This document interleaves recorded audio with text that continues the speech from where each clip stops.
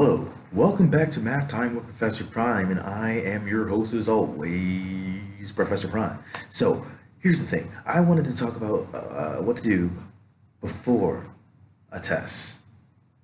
Um, and some of these will be applicable to other areas, so uh, hopefully, this will be useful to everybody. Um, it kind of goes the same for like forming a plan. There's aspects of that that were like useful for um, other classes or topics. So without further ado, let's do this. So my first thing is this: knowing what you know, but also maybe arguably just as important. Some would argue maybe even more what you don't know.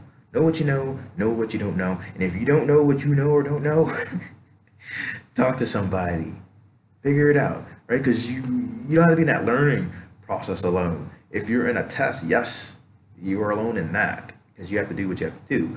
But everything leading up to that, you don't have to do that alone.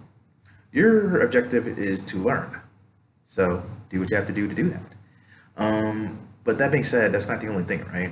Uh, so I'd say don't understudy or overstudy, and that might vary based on you. But being careful, being balanced, taking breaks, um, and I would recommend maybe studying less uh, the day of and more before, so you're not all cramming in at once. And you know, life happens, so that could be tricky. But I do think it's worth it to spread things out and have a plan and kind of align that with your schedules when possible. Uh, the other big thing is uh, I do think it's important to deal with test anxiety if you um, deal with that. And so if you're not sure if you um, deal with that or not, you can look up some of the symptoms online. Um, oftentimes, like I, I come across people who don't do well on tests, but they do well on quizzes. I can have conversations with them about a math concept and they do perfectly fine. They're able to explain their logic, but you get them on a test and it's a problem. It's a high stakes situation, but there are ways to deal with that.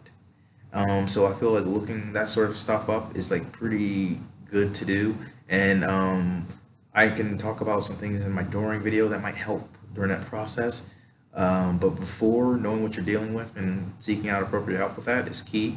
Uh, so there's all of that.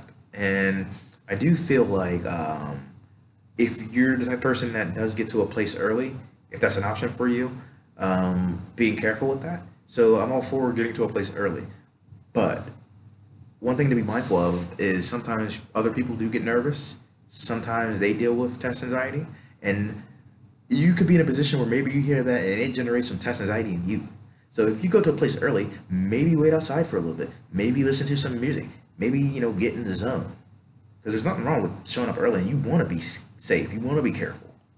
But hearing a lot of other people could be problematic. Um, but if you're the type of person that could be okay with that, maybe you can help with that. That's up to you. But yeah, so these were just a few tips that I think help uh, right before the test and like leading up to that. So I hope that's helpful. And I wanted to talk about what to do during the test next. And hopefully that'll help. So I hope you all enjoyed, and I'll see you in the next one. Professor Prime out.